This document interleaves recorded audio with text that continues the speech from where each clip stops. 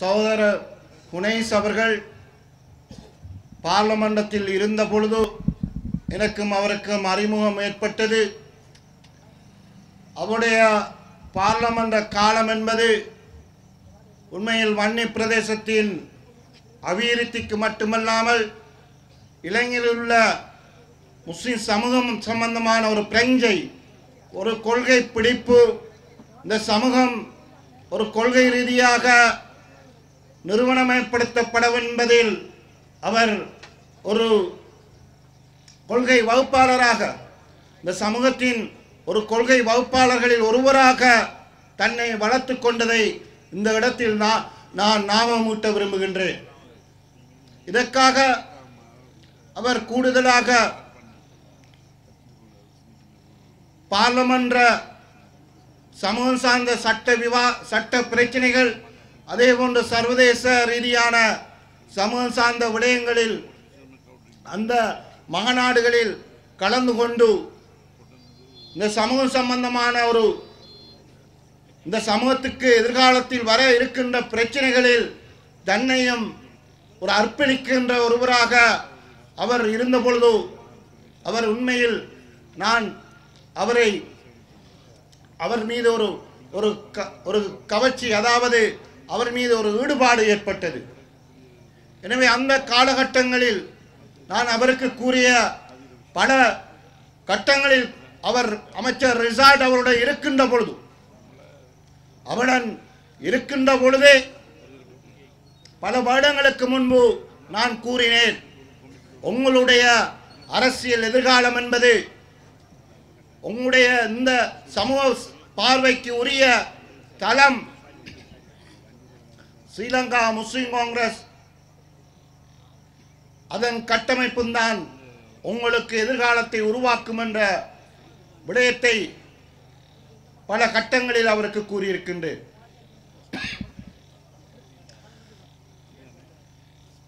அல்ஹம்துலில்லா அவர் கடந்த ஜனாதிபதி தேர்தல் வந்த பொழுது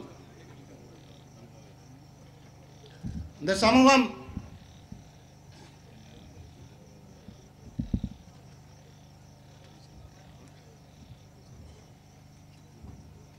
முன்னே ஆட்சியாளர்களை தோற்கடிக்க வேண்டும். அவரை வீட்டுக்கு அனுப்ப வேண்டும் என்று சமூகம் தயாராகிக் கொண்டிருந்த வேளையில் முத முதலாக பார்லமன்றத்தில் இருந்த பார்லமன்ற உறுப்பினர்களில் முத முதலாக அந்த சமூக போராட்டத்தில் தன்னை இணைத்துக் கொண்டு அன்று ஜனாதிபதி மைத்திரிபால சிறிசேனா அவர்களுடைய வெற்றிக்காக பாடுபட வந்த ஒரு பார்லமென்ற உறுப்பினராக இருந்ததில் அவர் தனக்கென ஒரு பெருமையை தேடிக்கொண்டார் அவ்வாறான ஒருவர்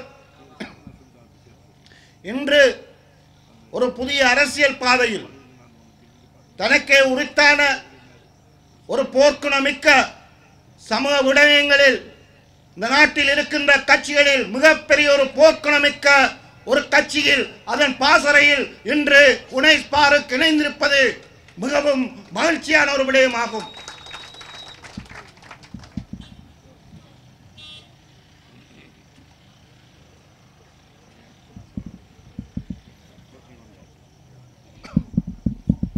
எனவே அன்பக்குரிய பெரியோர்களே இன்றைய சமகாலத்தில் இந்த நாட்டில் எமது சமூகம் சார்ந்த விடயங்கள் இந்த சமூகத்துக்காக எதிர்காலத்தில் செய்யப்பட விடயங்கள் பலவ இன்றைய முன் வந்து கொண்டிருக்கின்றது. நாட்டில் இருக்கின்ற ஆட்சியாளர்கள் நல்லாட்சி என்று கூறலாம். எம்மால் வந்த ஆட்சி தமிழ் முஸ்லிம் சமூகத்தினால் வந்த ஆட்சி என்று நாங்கள் பெருமைப்படலாம். வந்த கையோடு இரண்டாயிரத்தி பதினஞ்சு ஜனவரி எட்டாம் தேதி வந்த கையோடு ஜாப்பை மாற்ற வேண்டும். புதிய அரசியலமைப்பை கொண்டு வர வேண்டும். தேர்தல் முறையை மாற்ற வேண்டும். என்று மடித்து கட்டிக் கொண்டிருந்த பொழுது சமூகம் சார்ந்த விடயங்களில் நாங்கள் இன்று வன்னியில் அனுபவித்துக் கொண்டிருக்கின்றோம். ரெண்டு முஸ்லிம் பாராளுமன்ற உறுப்பினர்களை இதற்கு முன்பு மூன்று முஸ்லிம் பாராளுமன்ற உறுப்பினர்களை நாங்கள் அனுபவித்தோம். அவற்றினை வேரோடு அறுக்க வேண்டும். வன்னியில் முஸ்லிம் பாராளுமன்ற உறுப்பினர்கள் வரக்கூடாது. பார்லமெண்டத்தில் ஆட்சி அமைக்கின்ற பொழுது முஸ்லிம் காங்கிரஸ் ஆட்சியை தீர்மானிக்கின்ற சக்தியாக இருக்கக்கூடாது. இதற்காக வெட்டு வைக்க வேண்டும் இதற்கு ஆப்பு வைக்க வேண்டும் என்பதற்காக வந்த ஆட்சியை மழை என்று நம்பி இருந்த ஆட்சியை ஜாப்பினை மாற்ற முற்பட்டார்கள். பத்தொன்பது திருத்த சட்டத்தில் எனக்கு இருந்த பெரும் பாதுகாப்பு அணிகலன் இப்பொழுது இருக்கின்ற வீதாசார தேர்தல் முறை இதை மாற்றிவிட்டு இரவோடு இரவாக ஏற்கனவே தயாரித்துக் கொண்டிருந்த நிபுணர்கள் குழு தொகுதி வாரி தேர்தல் முறை என்றை உடனடியாக இதை மாற்றுவதற்கு அந்த பாராளுமன்றத்தில் மூன்றில் பெரும்பான்மையை டெஸ்ட் பண்ணுவதற்காக முன்பு எங்களுடைய பிரச்சனைகளை உள்ளடக்காத பொதுவான பிரச்சனைகளை உள்ளடக்கி பத்தொன்பது திருத்த சட்டத்தை வெள்ளோட்டம் விட்டு பார்த்தார்கள். வெற்றி பெற்றது. மூன்று ரெண்டு பெரும்பான்மை கிடைத்தது. ஆட்சியில் இருந்த ஆட்சியாளர்களுக்கு ஒரு உசார் வந்தது. நாங்கள் இந்த சூட்டோடு சூட்டாக நாங்கள் வீதாசார தேர்தல் முறையை மாற்ற வேண்டும் என்று. அப்பொழுது ஆட்சியில் அந்த புதிய ஆட்சியில் பல முஸ்லிம் தல அமைச்சர்கள் இருந்தார்கள்.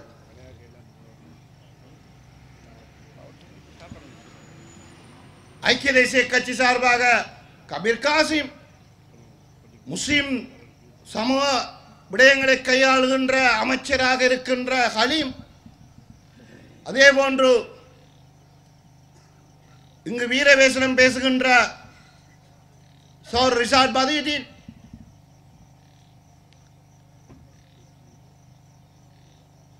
இவ்வாறு பல அமைச்சர்கள் இருந்து கொண்டும் அன்று அமைச்சரவையில் இந்த இருபதாவது திருத்த சட்டம் வந்தபொழுது அமைச்சு பதவிகளை வைத்திருந்த நான் சொல்லப்பட்ட அத்தனை பேர் மௌனமாக இருந்தார்கள். நாங்கள் கதைத்தால் ஜனாதிபதி மைத்ரிபால சிறிசேன கோவித்து விடுவாரோ? ரணில் கோவித்து விடுவாரோ? பின் பாராளுமன்றம் முடிந்த கையோடு எங்களுக்கு இருக்கின்ற இந்த அமைச்சு பறிபோய் லாயக்கில்லாத ஒன்றுக்கு உதவா இல்லாத அமைச்சை தந்து தலையில் கொட்டி விடுவார்கள் என்ற பயத்தில் எல்லோரும் நடக்கிக் கொண்டிருந்தார். ஆனால் எந்த நோக்கத்துக்காக இந்த இயக்கம் ஆரம்பிக்கப்பட்டது? அந்த நோக்கத்தை இன்னும் இந்த கட்சியில் இருக்கின்ற தலைவர்கள் மறைந்த தலைவர் அஷ்ரப் அவர்கள் எவ்வாறு தன்னோடு உடம்போடு அதனை இரண்டரை கலந்தார்களோ? சமூக விடயங்களை அந்த போர்க்கணமிக்கதாக தன்னை மாற்றிக்கொண்டாரோ அதற்கு ஒரு விதத்திலும் குறைவில்லாமல் இப்பொழுது இருக்கின்ற எங்களுடைய தலைவர் ராவ் ஹக்கீம் அவர்களும் சமூக விடயங்களில் தன்னை ஒரு முழுமையாக அர்ப்பணி அர்ப்பணிக்கின்ற ஒரு மனிதராக மாற்றி அன்று அந்த அமைச்சரவை மிகப்பெரிய ஒரு போராட்டத்தை நடத்தி தன்னந்தனியாக நடத்தி. இதனால் பாதிக்கப்பட இருந்த திகாம்பரம் இருந்தார் மனோ கணேசன் இருந்தார். அதே போன்று தமிழ் கூட்டமைப்பு இருந்தது எல்லோரும். சார்பாகவும் தன்னந்தனியாக வாதாடியது இந்த வன்னி மக்களுக்காக இந்த கேகொள்ளை மக்களுக்காக இந்த மட்டக்களப்பு மக்களுக்காக அம்பாறை மக்களுக்காக கண்டி மக்களுக்காக தன்னந்தனியாக வாதாடி அதை தடுத்து நிறுத்தியது ஸ்ரீலங்கா முஸ்லிம் காங்கிரசும் அதன் தலைமையும் என்பதை மறந்துவிடக் கூடாது இவ்வாறு சகோதரர்களே இதை போன்று பல விடயங்களை கடந்த கால எங்களுடைய போராட்ட அரசியலை நாங்கள் மணித்தியால கணக்கில் பேசலாம். அவற்றை விடுத்து நேரம் கருதி எதிர்காலத்தில். எதிர்காலத்தில் எதை கடந்த காலத்தில் மிஸ் பண்ணினார்களோ? எதை இருபா திருத்த சட்டம் என்று மிஸ் பண்ணினார்களோ? அதற்கு புதிய வடிவம். என்னவே புதிய யாப்பு. புதிய யாப்பு. அதற்கு புதிய பேர் வைத்து அதனை மெருகூட்டி பார்லமன்றத்தை அரசியலமைப்பு பேரவையாக மாற்றி நாங்கள் நிறைவேற்றி அது ஜனாதிபதி ஒழிக்கப் போகின்றோம் தேர்தல் முறையை மாற்றப் போகின்றோம். பீலா வடகிழக்கு இனப்பிரச்சினைக்கு தேசிய பிரச்சினைக்கு அரசியல் தீர்வை வழங்கப் போகின்றோம் என்று பல கதைகளை கூறி கடந்த வருடம் அந்த சூட்சமத்தை ஆரம்பித்தவர்கள் இன்று எங்கே நிற்கின்றார்கள்? இந்த நாடு எங்கே நிற்கின்றது? இந்த நாட்டில் இருக்கின்ற தேசிய கட்சிகள் எங்கே நிற்கின்றது என்பதை பற்றி நாங்கள் ஒவ்வொருவரும் சிந்திக்க வேண்டும். இன்று தலைவர் அவர்களும் குறிப்பிட்டார்கள். எங்களோட நேற்று பேசுகின்ற பொழுது குறிப்பிட்டார்கள். எந்த ஜனாதிபதி எந்த அரசு தமிழ் மக்களுடைய முஸ்லிம் மக்களுடைய பிரச்சனைக்கு தீர்வு காணப் போகின்றோம் ஜனவரியில் ஜாப்பை கொண்டு வந்து நிறைவேற்றப் போகின்றோம் என்று கூறினார்களோ நேற்றைய சுதந்திர தினத்தில் கூட அது பற்றி வாய் பேசுவதற்கு அவர்களுக்கு முடியாது. அதற்கான முதுகெலும்பு இல்லாமல் போய்விட்டது. இன்று தமிழ் மக்களுக்கு மாகாண சபைகளுக்கு போலீஸ் அதிகாரம் காணி அதிகாரம் கொடுக்க போகணும் என்று பேசுவதற்கு ரணில் விக்ரமசிங்க அவர்களுக்கு முடியாது ஜனாதிபதி மைத்ரிபால சிறிசேன அவர்களுக்கு முடியாது. ஆனால் ஒன்றை மட்டும் பேசுகின்றார்கள். தேர்தல் முறையை மாற்ற வேண்டும். ஏனென்றால் அது சிக்கல் இல்லாத பிரச்சனை. அதற்கு சர்வஜன வாக்கெடுப்பு மக்கள் தீர்ப்புக்கு போக வேண்டிய அவசியம் இல்லை போலீஸ் அதிகாரம் காணி அதிகாரம் இனப்பிரச்சனை தீர்வு என்று உள்ளடக்கி போவென்றால் நிறைவேற்றி ஜனாதிபதி முறை ஒழிக்க வேண்டும் என்றால் அதற்காக மூன்றிரண்டு பெரும்பான்மை மட்டுமல்ல சுப்ரீம் கோர்ட் ஓர்டரின்படி சர்வஜன வாக்கெடுப்புக்கு செல்ல வேண்டும். அங்கு போனால் இன்று இருக்கின்ற நிலைமையில் எங்களுடைய முன்னாள் ஜனாதிபதி மஹிந்த ராஜபக்ச சிங்கள பிரதேசங்களில் இன்று அவருக்கு வருகின்ற அந்த அவருடைய தர்பார் அரசியல். என்று சிங்கள மக்களை உசுப்பேத்தி இதை அவர் தோக்கடித்து விடுவார். எங்களுக்கு செய்யக்கூடிய ஒரே ஒரு விடயம் தேர்தல் முறையை மாற்ற வேண்டும் என்று இன்று சீனியர் அமைச்சர்கள் முணுமுணுக்கின்றார்கள். அன்புக்குரிய சோர்களே இதுதான் விடயம். பண்ணிக்கிருக்கின்ற விடயம். என்று ரிசார்ட் இன்று பெரிய ஒரு ஜாம்பவனாக இன்று இந்த மண்ணில் உலாவுகின்றார்னா எதனால்? அடிப்படை எம்பி ஆக வேண்டும். அடவாப்பா எம்பியை தான் பறிக்க என்பதற்காக இன்று பேனவாதிகள் தேர்தல் முறையை மாற்றுவதற்கு மடிச்சு கட்டி கொண்டிருக்கின்ற பொழுது இன்னும் அவர்களுக்கு இன்னும் அவர்களுக்கு வக்காலத்து வாங்கிக் கொண்டு அமைச்சும் அபிவிருத்தியும் என்று அங்கலாய்த்துக் கொண்டிருக்கின்றவர்கள் மத்தியில் இன்றும் அவரையும் காப்பாற்றி இந்த மண்ணையும் காப்பாற்றி எதிர்கால சன்னதியை காப்பாற்றுகின்ற ஒரே ஒரு கட்சி ஸ்ரீலங்கா முஸ்லிம் காங்கிரசும் தலைமை என்பதை மறந்துவிடக் கூடாது. இதற்காக தலைமை அன்று எவ்வாறு இருபதாவது திருத்த சட்டத்தில் போராடியதோ அதே போன்று இன்றும் நாங்கள் போராடி கொண்டிருக்கின்றோம். அது மட்டுமல்ல இந்த அரசினைப்பு மிக தெளிவாக கூறியிருக்கின்றோம். ஆட்சியாளர்களுக்கு எங்களுக்கு பாதகமான விடயத்தில் ஸ்ரீலங்கா முஸ்லிம் காங்கிரஸ் முஸ்லிம் சமூகத்துக்கு பாதகமான விடயத்தில் என்ன விட்டு கொடுப்பையும் செய்ய மாட்டாது என்பதை அவர்களுக்கு ஆணித்தரமாக நாங்கள் கூறியிருக்கின்றோம். அன்புக்குரிய பெரியவர்களே இன்றைய நிலைமையை நாங்கள் எடுத்துக்கொள்வோம். இவ்வாறு மிக சூட்சமாக கட்டித்தனமாக இந்த முஸ்லிம் அரசியலை ஒவ்வொரு படியாக நடத்தி கொண்டு வருகின்ற ஒரு தலைமைதான் எங்களுடைய தலைமை. ஏனென்றால் இதே விடயத்தை நாங்கள் டிஎன்ஏ நாங்கள் ஒப்பிட்டு பார்க்கலாம். டிஎன்ஏக்கும் தமிழ் தேசியத்துக்குள் இன்று உருவாகியுள்ள நிலைமை என்ன? நாங்கள் ஆட்சியில் அமைச்சராக இருக்கலாம்.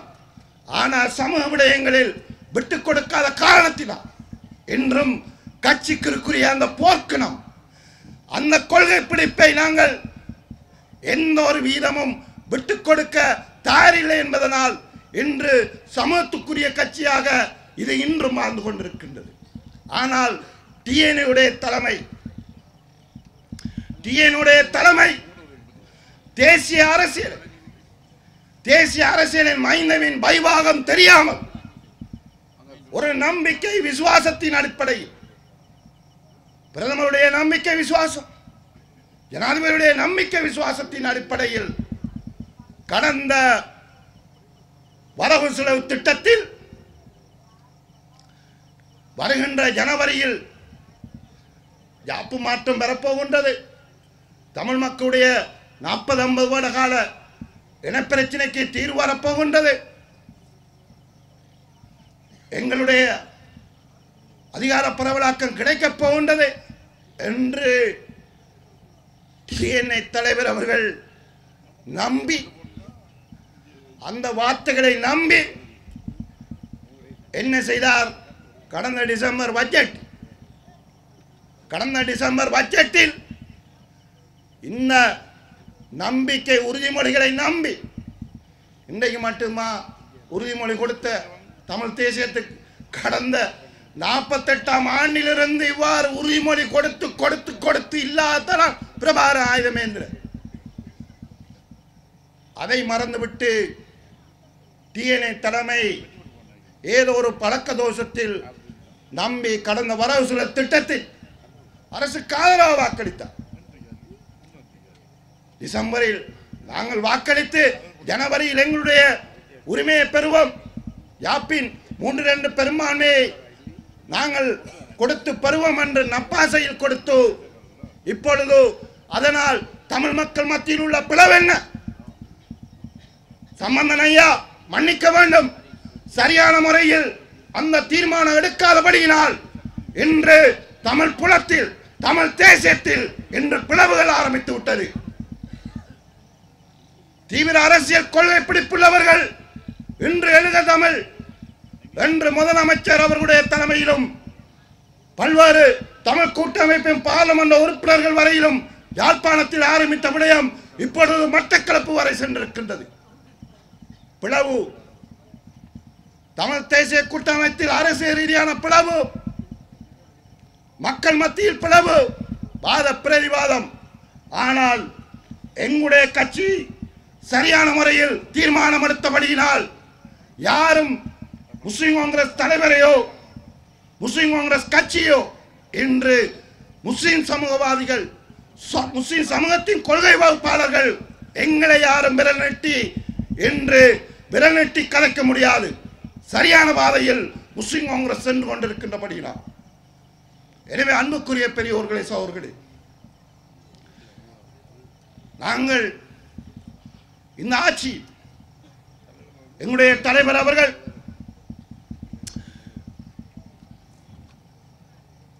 இன்றைய சூழ்நிலையில் இதைவிட கட்சி போராளிகளுக்கு ஒரு தெம்பான செய்தியை நாங்கள் வழங்க சொல்லிக் கொள்வதில் நாங்கள் மகிழ்ச்சி அடைகின்றோம் இன்றைய எல்லோருக்கும் ஒரு தெம்பு. நான் கடந்த ஒரு வருடத்தில் நான்கு முறை வன்னிக்கு விஜயம் செய்திருக்கின்றேன். இந்த ஆட்சி வந்த பின்பு எல்லோரும் பேசுகிறார்கள். எங்களுடைய போராளிகள் இளைஞர்கள் பெரியோர்கள் பேசுகின்ற போல தெம்புடன் பேசினார்கள்.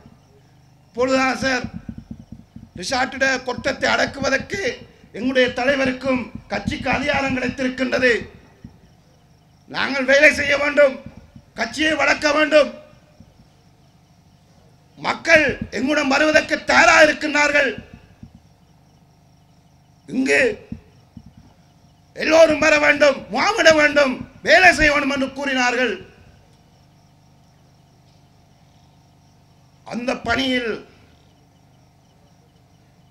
அல்லாஹ் தாலா எங்களுக்கு தந்திருக்கின்ற அந்த அமானே இப்பொழுது கட்சி தலைவர் அவர்கள் கடந்த வருடத்தில் இந்த மண்ணின் மண்ணுடைய அபிவிருத்திக்காக தனக்கு கிடைத்த இறுதி கட்டத்தில் கிடைத்த பணத்தில் பல அபிவிருத்தி பணிகளை இந்த மண்ணில் ஆரம்பித்து முடுக்கி விட்டிருக்கின்றார். அதே போன்று என்னுடைய அமைச்சர்கள் கூட இங்கிருக்கின்ற முன்னாள் பாராளுமன்ற உறுப்பினர் முத்தலிபாபா பாருக் அதே போன்று சோர் ரைஸ் அதே போன்று உச்சபுட உறுப்பினர்கள் எல்லோரும் அழைத்து வந்த வன்னியில் பங்குனியா மு- முன்னர் யாழ்ப்பாணம் முள்ளத்து எல்லா எல்லா பாதைகளுக்கு நாங்கள் சென்றோம். எங்களால் கிடைத்த எங்களுடைய அமைச்சு கிடைத்த நிதியில் பல இடங்களில் மைதானங்களுக்கு நிதியினை ஒதுக்கீடு செய்திருந்தோம். அது மட்டுமல்லாமல் கடந்த வாரம் கடந்த வெள்ளிக்கிழமை கூட மன்னாரில் கடந்த பல வருடங்களாக இந்த மன்னாருக்கென்று அமைக்க வேண்டிய புறக்கணிக்கப்பட்டிருந்த மிகப்பெரிய ஒரு விளையாட்டு தொகுதி கிட்டத்தட்ட முன்னூறு மில்லியன் முப்பது கோடி ரூபாய் பெருமதியான விளையாட்டு மைதான தொகுதியை நாங்கள் பல போராட்டங்களை சந்தித்து திரைசேரியில் பணம் இல்லாத ஒரு கட்டத்தில் இது மன்னார் மாவட்டத்தில் அமைத்தே ஆக வேண்டும் என்பதற்காக கடந்த வெள்ளிக்கிழமை வந்து நானாட்டாம் பிரதேசத்தில் அந்த அபிவிருத்தியை நான் தலைமை யாரு சில எங்களுடைய முஸ்லீம் காங்கிரஸ் போராளிகள் ஃபேஸ்புக்கில் எழுதியிருக்கின்றார்கள். நான் அமைச்சர் ரிஷாட்டுக்கு பின்னால் வந்தது என்று. அன்புக்குரிய போராளிகளை நான் முதுகெலும்புள்ளவன்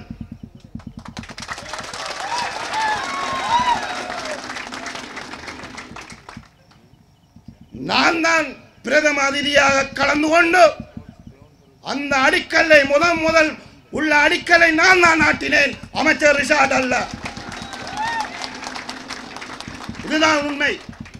அவரும் இந்த மாவட்ட பார்லமெண்ட் உறுப்பினர் என்ற அமைச்சர் என்ற ரீதியில் அவரும் சோர செல்வ அடைக்கலநாதன் சௌர காதர் மஸ்தான் அதே போன்று சாஸ் நிர்மலநாதன் மாகாண அமைச்சர் டெனீஸ்வர் என்று எங்களுடைய சோர ரைஸ் உட்பட எல்லோரும் அவர்கள் கலந்து கொண்டார்கள். நாம இந்த விடயத்தில் மிக கவனமாக இருந்து எங்களுடைய அமைச்சர் கூட வராமல் நான் வந்து கட்டியது நாட்டியது எங்களுடைய கட்சியின் பெருமை. இந்த கட்சியின் ஆயுதம். உங்களுக்காக நாங்கள் பயன்படுத்துவோம் என்பதற்காக மிக தெளிவாக இருக்கு நாங்கள் மிக பல போராட்டங்களை சந்தித்து இந்த இடத்துக்கு வந்தவர்கள். அது புலிகளுடைய போராட்டமாக இருக்கலாம் பல ஆயுதக்களுக்குடைய போராட்டமாக இருக்கலாம். எல்லாவற்றையும் சந்தித்து இந்த களத்தில் இருக்கின்ற எங்களுக்கு இந்த கட்சிக்கு இன்று யாரும் சவால் விட முடியாது.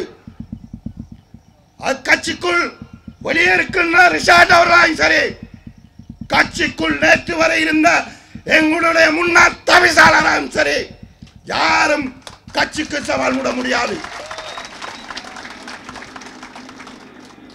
இந்த தலைமையை மறைந்த தலைவர் அவர்கள் மரணித்து அவருடைய மையத்து கபருக்குள் ஆறுவதற்கு முன்பு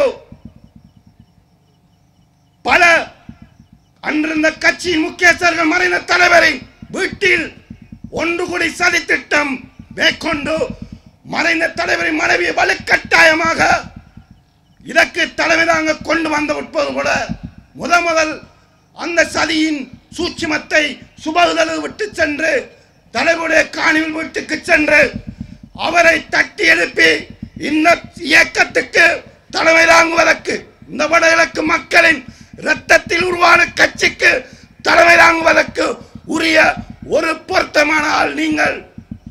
எழுமுங்கள் தயாராகுங்கள். வடகிழக்கில் இருக்கின்ற இளைஞர்களை அணிதிரட்டி இந்த சதிகார கும்பல்களை விரட்ட வேண்டிய பொறுப்பு எங்களுடையது என்பதை அன்று கூறி ஆரம்பித்த போராட்டம் இது. இன்று அன்று எவ்வளவோ பெரிய கூட்டம். சந்திரிகாவுடைய அரச இயந்திரம்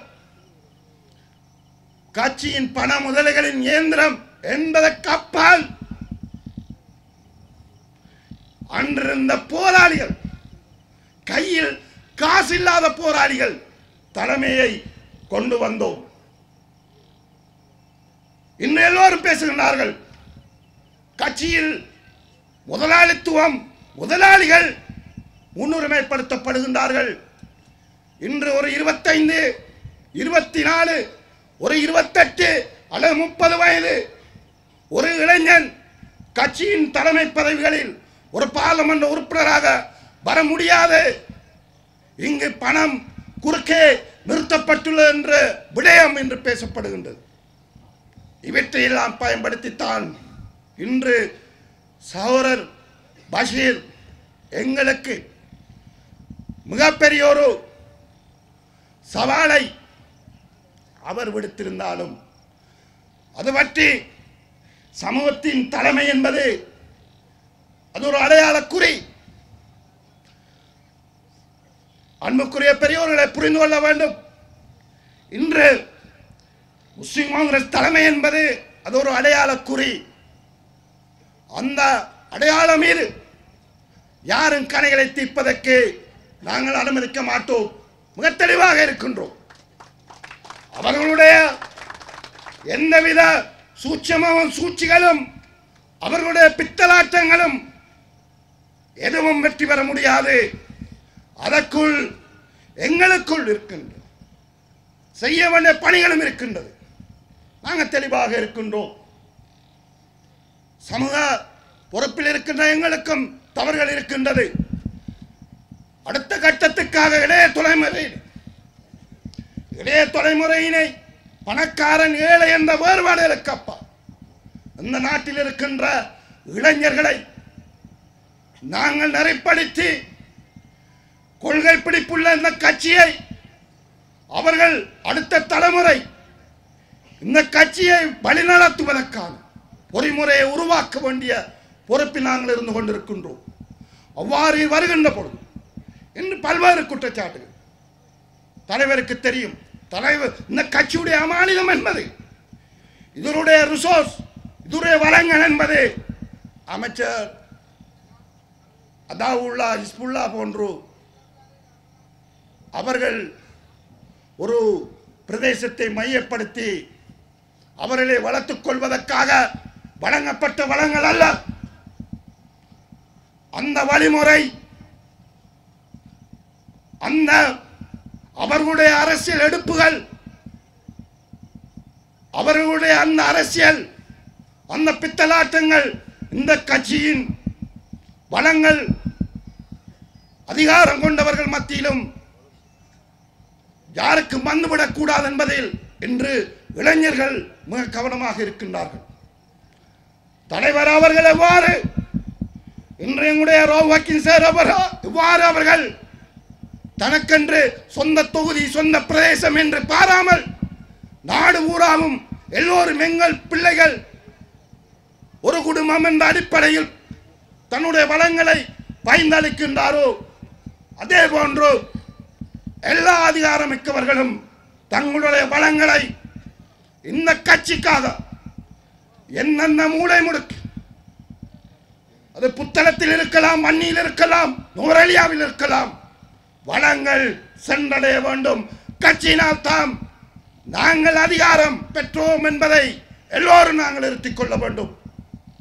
ஏனென்றால் கட்சியை சவால்படுத்துவதற்காக இன்று ஒரு கூட்டம் புறப்பட்டிருக்கின்ற பொழுது எல்லோரும் இந்த கட்சியின் அடுத்த கட்ட இளைய தலைமுறைக்கு நாங்கள் பதவி வைக்கின்றவர்கள் பொருத்தமானவர்கள் சமூக ஆர்வலர்கள் சமூக பிரஞ்சை உள்ளவர்கள் கொள்கை பிடிப்புள்ளவர்கள் என்பதை நிலைநிறுத்துகின்றவர்களாக நாங்கள் எல்லோரும் மாறுகின்ற பொழுது எந்த கொம்பனம் இந்த கட்சியை அழைக்க முடியாது அசைக்க முடியாது என்று கூறி விடைபெறுகின்றேன். நன்றி. அஸ்ஸலாமு வலைக்கும்